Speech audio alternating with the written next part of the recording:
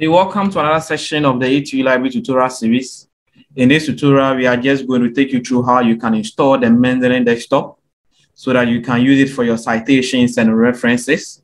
Already, we've treated some basic concepts or some concepts of um, referencing and citations, general overview, and up to the seventh edition of the APA. Um, at this point, we want to take you through how you can install this software to automate your citations and that of your references for you. So you open any browser of your choice, then you click or you type. So we have the download Mendeley desktop over here. So we click on it. And we click on this one, that is the download Mendeley desktop software. And if you are using Windows operating system, you download that for Windows. If you are using a laptop that has um, Apple's operating system on it, so you download that for Mac OS. If your machine is running or if it has a Linux operating system, you also click that for Mendeley Desktop for Linux. And we are downloading that for Windows. So you could see the a progress for the download. And with a fast internet connection, I think Mendeley takes just some few seconds to complete a download.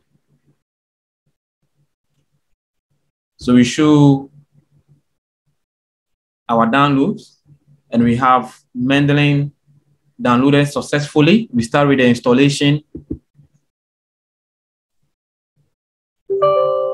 We click on next.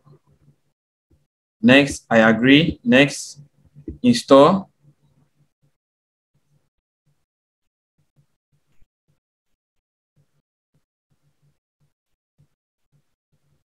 Finish. Once you are done with the installation, there is a welcome message from Mendeley. You have to enter your email address and password, but it's unfortunate um, we've not yet registered with Mendeley, so we have to register. And so this is what you see.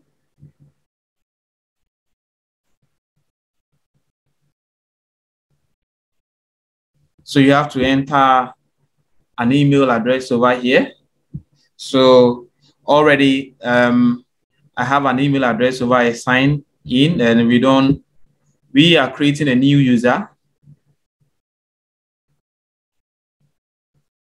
So we can click on sign in with a different account. So we enter a valid email address over here.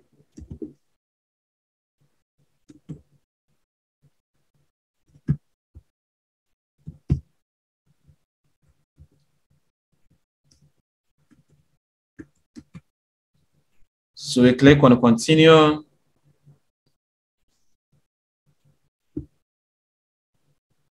You give a name.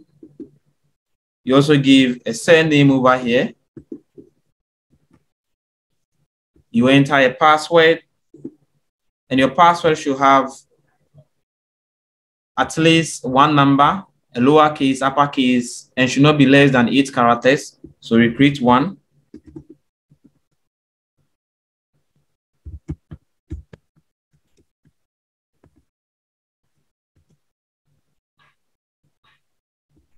Click on register and we're done. Hit on continue. And what you see over here is Mendeley Web.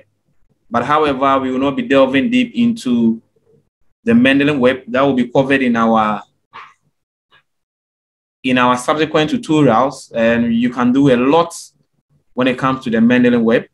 Once we are done, we go back to our Mendeley desktop we enter our email address that we use for the registration processes.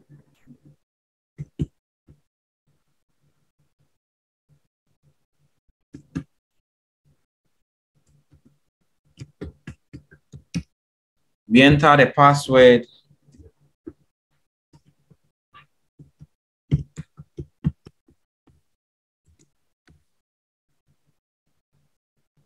And once the email address and the password is valid, automatically you are now logged into Mendeley. Mendeley is telling you that the reference manager is now installed. However, because Mendeley will be working with Microsoft Word, you need eight plugin um, so that Mendeley can use the plugin to do the citation and the references for you. Uh, Mendeley is trying to tell us that the, that plugin is not actually installed. So we proceed and click on install now. Now we have the plugin being installed in Microsoft Word automatically. Make sure that when you are installing this plugin, your Microsoft Word is not open or active. If it's active, make sure that you close it. Otherwise, there will be conflict and Mendeley will be forced to close the Microsoft Word before it can complete its installation. So we're done, we close it.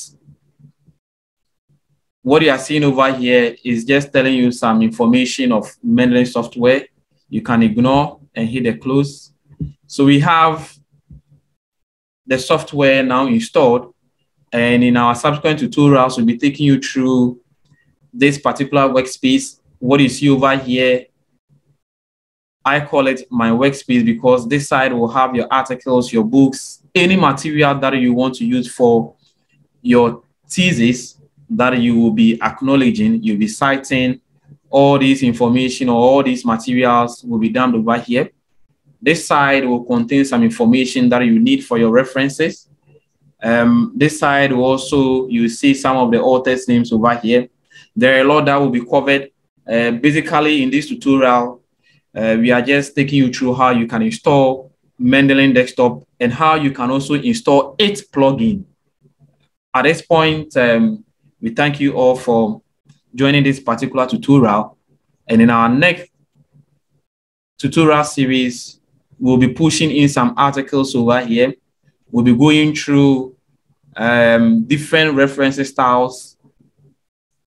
Actually, when it comes to referencing an article, referencing a book, uh, referencing a book chapter using the Mendeley software, and so forth, how you can create a folder in Mendeley software. So we encourage you to subscribe to our channel and follow us in our next tutorial series. Thank you.